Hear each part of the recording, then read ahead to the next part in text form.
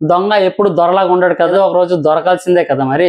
Market స్ట్రాటజీనే. ఈ వీడియోలో మనం రీసెంట్ డేస్లో ఫ్లాగ్షిప్ మొబైల్స్ కావచ్చు మిడ్ రేంజ్ మిడ్ రేంజ్ మొబైల్స్లో కావచ్చు ఎందులో అయినా సరే కామన్గా వింటున్న ప్రాబ్లం అంటే మన ఇన్వాల్వ్మెంట్ లేకుండా హ్యూమన్ ఇన్వాల్వ్మెంట్ లేకుండా జరుగుతున్న అంటే క్రియేట్ అవుతున్న ప్రాబ్లం అదే గ్రీన్ లైన్ ఫార్మేషన్. సో ఈ గ్రీన్ లైన్ అనేది ఎందుకు ఫామ్ అవుతుంది అసలు? సో దీనికి చాలా రీజన్స్ అయితే ఉన్నాయి. సో గ్రీన్ లైన్ ఫామ్ అయ్యాక మనం తీసుకు ఏ విధంగా అయితే దాన్ని రెక్టిఫై చేయాలి గ్రీన్ లైన్ ఫామ్ అవ్వకుండా ఉండాలంటే ఏం చేయాలనేది మన వీడియోలో అయితే తెలుసుకునే ప్రయత్నం అయితే చేద్దాం. సో వీడియో అయితే లాస్ట్ వరకు చూడండి చాలా ఇంట్రెస్టింగ్గా ఉండబోతుంది. సో నా పేరు ప్రశాంత్ మీరు చూస్తున్నారు our tech Prashanth YouTube channel green line అనేది ఫామ్ అవ్వడానికి అయితే మేజర్గా త్రీ రీజన్స్ అయితే ఉన్నాయి. ఒకటి ఫిజికల్ డ్యామేజ్ రెండు వాటర్ డ్యామేజ్ ఇంకోటి సాఫ్ట్వేర్ కరప్షన్ సో ఈ మూడు అంటే మనకి ఫిజికల్ డ్యామేజ్ కానీ వాటర్ డ్యామేజ్ కానీ మన ఇన్వాల్వ్మెంట్ అంటే హ్యూమన్ ఇన్వాల్వ్మెంట్ ద్వారా జరిగే ప్రాబ్లమ్స్ అన్నమాట. సో ఇది సాఫ్ట్వేర్ డెవలప్మెంట్ అనేది చెప్పాలంటే ఇవన్నీ కూడాను మొబైల్ కంపెనీస్ ప్రొవైడ్ చేసే సాఫ్ట్వేర్ అప్డేట్ ఉంటాయి కదా. సో అప్డేట్ త్రూగా జరిగే ఒక ఎర్రర్ అన్నమాట. సో మరి చాలా మంది అయితే ఈ మధ్య కాలంలో అయితే మనం వింటున్నాం అండ్ ట్విట్టర్లో కూడాను చూస్తున్నాం. సో గ్రీన్ లైన్ ఫామ్ అనేది ఫిజికల్ డ్యామేజ్ లేకపోయినా వాటర్ డ్యామేజ్ కాకపోయినా సరే ఎంతో జాగ్రత్తగా కేర్ఫుల్గా యూజ్ చేస్తున్న మొబైల్స్లో కూడాను ఈ గ్రీన్ లైన్ అనేది ఫామ్ అవుతుంది. సో దానికి reason main reason software update. Yes మీరు అన్నది కరెక్టే. సాఫ్ట్వేర్ అప్డేట్ ద్వారా ఈ గ్రీన్ లైన్ ఫామ్ అయితే జరుగుతుంది అనమాట సో మరి ఇది ఈ గ్రీన్ లైన్ ఫార్మేషన్ అనేది అప్డేట్ త్రూగా కావాలనే కంపెనీస్ చేస్తున్నాయా? లేక అన్ఎక్స్పెక్టెడ్గా అంటే సాఫ్ట్వేర్లు ఉన్న కొన్ని బగ్స్ వల్ల జరుగుతుందంటే మనం కొన్ని మొబైల్స్లో అయితే ఆటోమేటిక్గా సాఫ్ట్వేర్ పరంగా అయితే వచ్చేస్తుంది. ఇంకొన్ని మొబైల్స్లో అయితే సాఫ్ట్వేర్ అప్డేట్ చేయకపోయినా సరే ఫిజికల్ డ్యామేజ్ లేకపోయినా వాటర్ డ్యామేజ్ లేకపోయినా అండ్ ఈ ప్రాబ్లం వస్తుందని చెప్పి కొ- కొంతమంది యూజర్స్ అయితే సాఫ్ట్వేర్ని అప్డేట్ చేయకుండా ఓల్డ్ వెర్షన్నే యూజ్ చేస్తున్నా సరే ఈ గ్రీన్ లైన్ అనేది ఫామ్ అయితే అవుతుంది. సో ఇది కంప్లీట్లీ చెప్పాలంటే software I mean mobile companies ద్వారానే ఇది జరుగుతుంది. అంటే without physical damage water damage లేకుండా జరుగుతుంది కాబట్టి ఖచ్చితంగా ఇదంతా కూడాను ఇంటర్నల్గా లో సాఫ్ట్వేర్ పరంగా అప్డేట్లో వచ్చే కొన్ని రీజన్స్ వల్ల ఈ హార్డ్వేర్ అనేది కరప్ట్ అయితే ఛాన్స్ అయితే ఉంది. ఫ్రెండ్స్ మరి ఈ green line formation green line అని కాదు గ్రీన్ బ్లూ రెడ్ ఆర్జీబీ ఈ త్రీ కలర్స్ ఏదో కలర్ అయితే మాక్సిమం వచ్చే అవకాశం ఉంది. కానీ ఎక్కువగా గ్రీన్ లైన్ గ్రీన్ లైన్ అనేది ఫామ్ అవుతుంది కాబట్టి ఎక్కువగా మనం గ్రీన్ లైన్ గురించి మాట్లాడుతున్నాం. సో ఇవి అమ్యులెట్ డిస్ప్లేస్ కానీ సూపర్ అమ్యులెట్ డిస్ప్లేస్లోనే ఎక్కువగా మేజర్గా ఫామ్ అయితే ఛాన్స్ ఈ ఫామ్ ఈ ప్రాబ్లం అనేది మరి ఓన్లీ వన్ ప్లస్ మొబైల్స్లోనే ఉందంటే కాదు ఇది వన్ ప్లస్లోనే కాదు. శాంసంగ్ కావచ్చు షామీ కావచ్చు వివో కావచ్చు సో ఒప్పో కావచ్చు ఈ మొబైల్స్లో కూడాను అన్నిట్లో కూడాను ఈ గ్రీన్ లైన్ ఫామ్ అనేది కామన్ గానే జరుగుతుంది. అండ్ ఫ్రెండ్స్ మరి ఇది ఇప్పుడే జరుగుతుందంటే ఇప్పటి నుంచే కాదు ఇది ఎప్పటి నుంచో మనకి జరుగుతూనే ఉంది. కాకపోతే అవన్నీ కూడా ఇంటర్నల్గా సాఫ్ట్వేర్ త్రూగా ఇంటర్నల్ హార్డ్వేర్లో ఉన్న దాని యొక్క కెపాసిటీని తగ్గించడం ద్వారా ఇంతకుముందు అయితే జరిగేది. సో అవన్నీ మన కంటికి కనిపించేది లేదనమాట సో అంటే విజిబిలిటీ మన నేకెడ్ ఐకి అది కనిపించే పాసిబిలిటీ లేదు. సో అందు గురించే మనం దీని గురించి ప్రీవియస్లో ఎప్పుడు మాట్లాడుకోలేదు. ఇప్పుడు ఒక టూ టూ త్రీ మంత్స్ అవుతుంది. చాలా మంది అయితే ఈ గ్రీన్ లైన్ ఫార్మేషన్ అనేది అయితే బాగా ఒక ట్రెండ్ అవుతుంది అనమాట అండ్ ఈ సాఫ్ట్వేర్ అప్డేట్ స్కామ్ గురించి అయితే నా ఒక పర్సనల్ ఒపీనియన్స్ అయితే రెండు నేను షేర్ చేసుకోవాలని అనుకుంటున్నాను. సో నేను two thousand twelve to two thousand fourteen ఒక ten years back nine to ten years back అయితే నేను ఐఫోన్ ఫోర్ ఎస్ మొబైల్ అయితే యూజ్ చేసేవాడిని. అది కూడా సెకండ్ హ్యాండ్లో పర్చేస్ చేసి యూజ్ చేశాను. సో ఒక సిక్స్ టు సెవెన్ మంత్స్ అయితే బాగానే వర్క్ అయింది. After seven to eight and seven to eight months తర్వాత నాకు బ్యాటరీ అనేది బ్యాటరీ బ్యాకప్ అనేది ఎక్కువ రాలేదు. త్వరగా డ్రైన్ అయిపోవడం అయిపోవడం ప్రాబ్లం అయితే నేను ఫేస్ చేశాను. సో ఈ బ్యాటరీ కంప్లైంట్ ఉందని చెప్పి నేను స్టోర్కి వెళ్ళి ఐ మీన్ సర్వీస్ సెంటర్కి వెళ్ళి ఒక జెన్యున్ అంటే మనకి ఐ ఐఫోన్ నుంచి అయితే వచ్చిన ఒక బ్యాటరీ అయితే నేను రీప్లేస్మెంట్ చేశాను. రీప్లేస్మెంట్ చేసిన ఒక ఫిఫ్టీన్ టు వన్ మంత్ వరకు అయితే పర్ఫెక్ట్గా వర్క్ అయింది. తర్వాత మళ్ళీ పాత కదే అండ్ రీసెంట్గా ఒక one year back exactly one year back Realme కంపెనీలో ఉంది. Realme Narzo twenty Pro so ఇది నేను త్రీ ఇయర్స్ అయితే యూజ్ చేశాను. లాస్ట్ ఇయర్ నేను ఎక్స్చేంజ్ లాస్ట్ ఇయర్ కాదు ఒక సెవెన్ మంత్స్ అవుతుంది ఎక్స్చేంజ్ పెట్టి. సో లాస్ట్ ఇయర్ జరిగిన ఇష్యూ అయితే మీకు ఎక్స్ప్లెయిన్ చేస్తాను. లాస్ట్ ఇయర్ ఏంటంటే మనకి నా దగ్గర ఒక మొబైల్ అండ్ మా బాబాయ్ దగ్గర మొబైల్ ఉండేది రియల్మీ నార్జో ట్వంటీ ప్రో చాలా పెర్ఫార్మెన్స్ అయితే చాలా హైలైట్గా ఉండేది సూపర్గా ఉండేది. అండ్ నాకు లాస్ట్ ఇయర్ ఒక అప్డేట్ వచ్చింది కదా మేజర్ అప్డేట్ ఒక two two point five three GB వరకు ఒక అప్డేట్ అయితే వచ్చింది. నా పర్సనల్ మొబైల్లో నేను అయితే అప్డేట్ చేసుకున్నాను.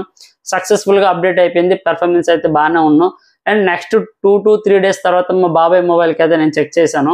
సేమ్ మోడల్ కదా అప్డేట్ వచ్చి ఉంటుందని. సో అప్డేట్ చెక్ చేస్తే ఓకే సేమ్ అప్డేట్ అయితే వచ్చింది.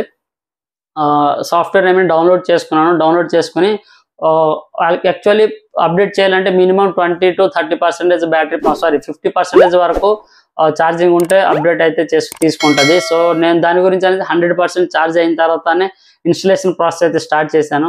సో ఈ ప్రాసెస్ అంతా ఒక టెన్ టు ఫిఫ్టీన్ మినిట్స్ జరుగుతున్నప్పుడు డిస్ప్లే అనేది సడన్గా బ్లాక్ అయితే అయిపోయింది. నేనేంటి అనుకున్నానంటే ఓకే రీస్టార్ట్ అవుతుంది కదా మొబైల్ అనుకుని ఒక ten minutes fifteen minutes wait wait చేశాను.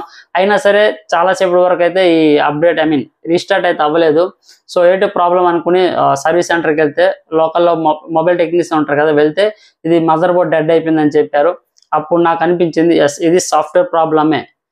అది అప్పుడు అనిపించింది కానీ అంతగా రియాక్ట్ అవ్వ అంటే అంతగా రియాక్ట్ అవ్వలేదు. ఎందుకంటే ఆల్రెడీ ఆ మొబైల్కి వారంటీ అయిపోయింది. సో మన అమౌంట్ పెట్టి బాగు చేసుకోవాలి. సో మా మదర్ బోర్డు డెడ్ అయింది కాబట్టి దానికి కొంచెం ఎక్కువ అమౌంట్ అయితే ఖర్చు అవుద్ది. మొబైల్లో ఉన్న ప్రైస్ సగం వరకు ఫిఫ్టీ పర్సెంట్ అదే కాస్ట్ ఉంటుంది. సో మరి ఆ మొబైల్ రిపేర్ చేయకుండా అలాగే డెడ్ ఐ మీన్ కోమాలోనే పడుద్ది ఇంకా అది. అండ్ అదే విధంగా రీసెంట్గా మా ఫ్రెండ్ది త్రీ డేస్ అవుతుంది. OnePlus eight Pro two thousand ట్వంటీలో పర్చేస్ చేశాడు. యాక్చువల్లీ అతని ఫిజికల్ డ్యామేజ్ ఏం లేదు వాటర్ డ్యామేజ్ ఏం లేదు. చాలా కేర్ఫుల్గా అయితే యూజ్ చేస్తాడు. ఈ సాఫ్ట్వేర్ అప్డేట్ చేస్తే ప్రాబ్లం వస్తుందని తెలిసే మేజర్ అప్డేట్ ఒకటి వచ్చున్నా ఆల్రెడీ సెట్టింగ్లో చూస్తే ఆల్రెడీ ఉంది. కాకపోతే అప్డేట్ అయితే చేసుకోలేదు. ఈ ప్రాబ్లం మేబీ రావచ్చేమో అని చెప్పి భయంతో చేయకుండానే ఉన్నాడు. కానీ టూ డేస్ బ్యాక్ నైట్ పడుకుని మార్నింగ్ లేచేసరికి సడన్ షాక్ అన్నమాట. గ్రీన్ ల్యాండ్ అయితే ఫామ్ అయిపోయింది మా వాడికి సో చేసేది ఏముంది ఏం లేదు. వాడు లక్కీగా వాడి మొబైల్కి వారంటీ అనేది ఎక్స్టెండ్ చేసుకున్నాడు. సో ఆన్లైన్లో సర్వీస్ సెంటర్ కాంటాక్ట్ చేస్తే ఇక్కడ కాదు ఎక్కడ? బెంగళూరు పంపించాలన్నారు. బెంగళూరులో కొరియర్ త్రూ పంపిస్తే వాళ్ళు సర్వీస్ చేసి వారంటీ ఉంది కాబట్టి రీప్లేస్మెంట్ డిస్ప్లే రీప్లేస్మెంట్ చేసి మళ్ళీ తిరిగి మన అడ్రస్కి అయితే కొరియర్ చేస్తారు. ఈ ప్రాసెస్ అంతా కంప్లీట్ అవ్వడానికి దగ్గర దగ్గర ట్వంటీ డేస్ అయితే పడుతుంది. మరి ఈ ట్వంటీ డేస్ కస్టమర్కి ఇబ్బందే కదా మరి? సో ఇది ప్రెసెంట్ జనరేషన్లో ప్రెసెంట్ మన మొబైల్ కంపెనీస్ అన్ని కూడా చేస్తున్న ఒక స్కామ్ అయితే అనుకోవచ్చు. సో ఈ స్కామ్ అనేది ఎందుకు చేస్తున్నారు అసలు? వాళ్ళకి ఏం అవసరం ఈ స్కామ్ చేయడం? అండ్ ఈ విధంగా గ్రీన్ లైన్ అనేది ఫామ్ చేయడం అంటే ఇదంతా కూడాను మార్కెట్ స్ట్రాటజీనే. ఎస్ మీరు విన్నది కరెక్టే మార్కెటింగ్ స్ట్రాటజీ.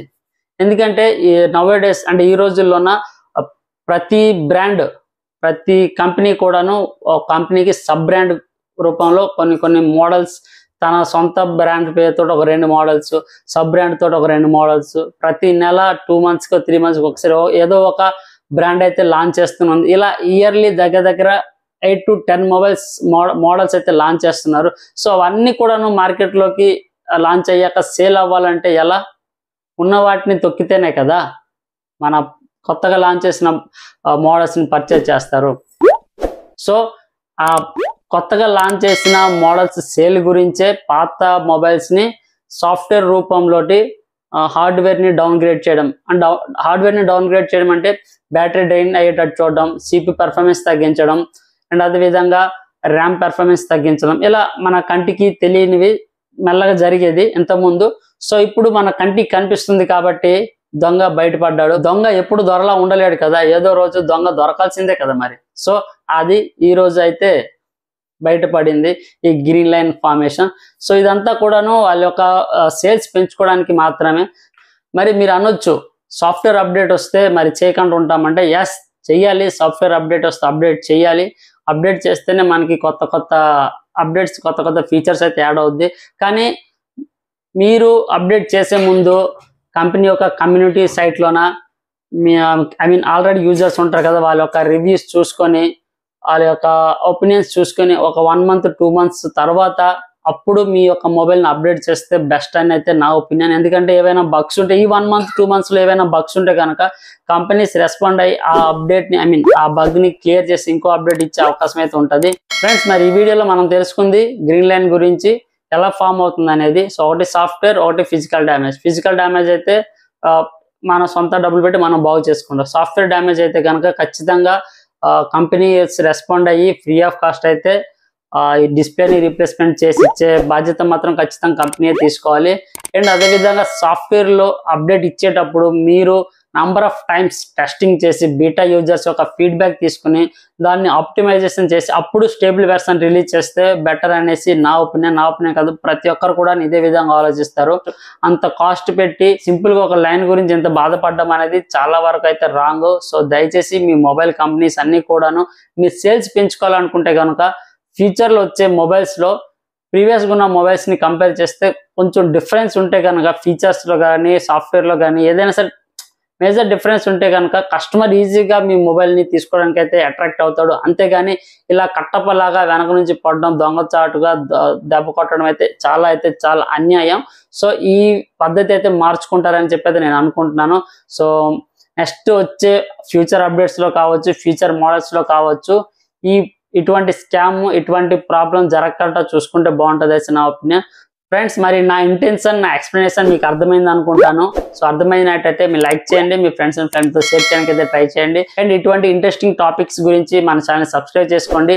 అండ్ ఈ వీడియో గురించి ఎటువంటి డౌట్ ఉన్నా సరే కింద కామెంట్ సెక్షన్లో మీ యొక్క కామెంట్ని మెన్షన్ చేయండి. దానికి రిప్లై అవ్వడానికి అయితే ట్రై చేస్తాను.